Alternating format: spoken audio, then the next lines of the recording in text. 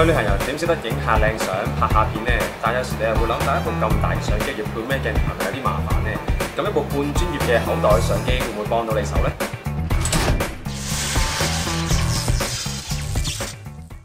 ？Hi YouTube，我係 Ryan，喺我手上咧就有 Canon 最新出嘅兩部半專業級嘅數碼相機，一部就係 G7X Mark III，另一部就係 G5X Mark II。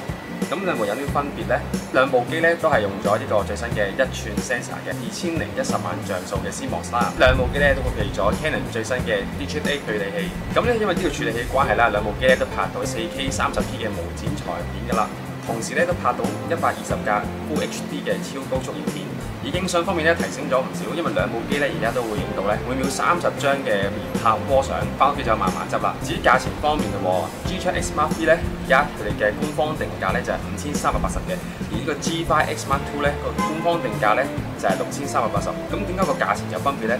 睇到你咪知。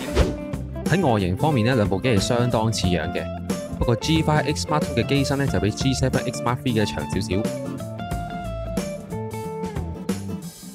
喺機頂位置望落去咧，就會見到有大少少嘅分別啦。兩款機嘅開關掣都喺機頂，而開關掣嘅右邊咧都會有兩個轉輪嘅，一個就係選擇拍攝模式，另一個就係控制曝光補償。而喺曝光補償方面咧，兩部機咧都支援咗正負三級嘅，而喺開關掣上面咧仲會有個快門掣，而快門掣嘅下面咧就係操控變焦嘅環。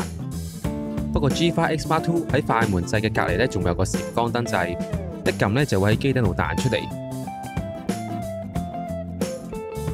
而 G7X Mark III 嘅閃光燈咧就擺咗喺機嘅左邊，所以個閃光燈掣咧都喺機身嘅左側。而 G7X Mark III 嘅機頂位置咧仲有個大大嘅收音咪，所以拍片收音嘅效果咧應該會比 G5X Mark II 好。睇埋個機背先。基本上兩部機機背嘅掣咧嘅排位係一樣嘅，而中間呢一個圓形咧係轉環嚟嘅，所以夠晒方便。而嗰個轉環方面，兩部機咧喺鏡頭嘅位置咧都會有另一個轉環方便操控嘅。而兩部機咧都配備咗三寸一百零四萬點嘅多角度觸控屏，而且呢一個 mon 咧仲可以反出嚟向前一百八十度，自拍就夠晒方便啦。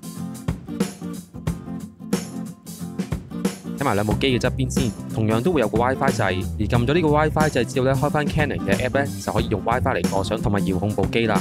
而 WiFi 掣上面咧，都會有翻個 USB port 同埋 HDMI port。而今次兩部機咧都用咗 Type C 嘅 USB port，所以去旅行影相影到冇晒電，想即刻叉電都夠晒方便。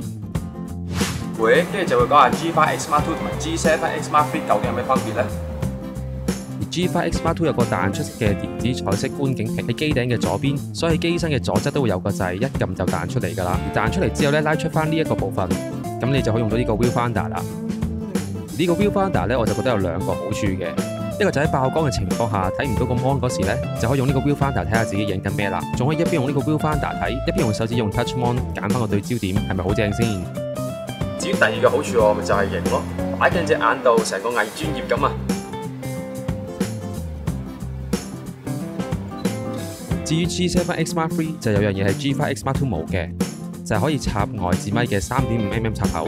不過 G7X Mark III 插咗支咪之後咧，係冇任何位置固定啦。所以當你插咗支咪之後咧，就諗辦法點樣固定支咪啦。